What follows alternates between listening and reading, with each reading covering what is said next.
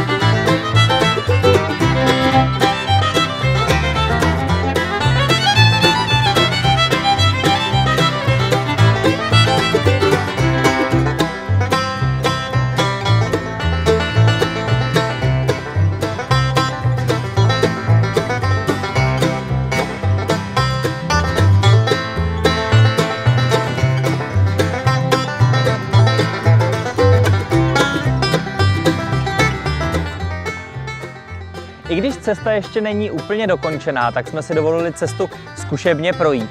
Zabralo nám to vlastně z lokality Podnouzovém až do ekologického centra Prales eh, pouhých pět minut. Takže se moc těším na to, až eh, se cesta dodělá a otevře se veřejnosti. Eh, v tuhle tu chvíli se na některých místech vlastně už pokládají ty nejsvrchnější vrstvy cesty, takže se budeme těšit na to, že se cesta otevře co možná nejdřív. Doufejme, že to bude v horizontu třeba už týdne nebo dvou.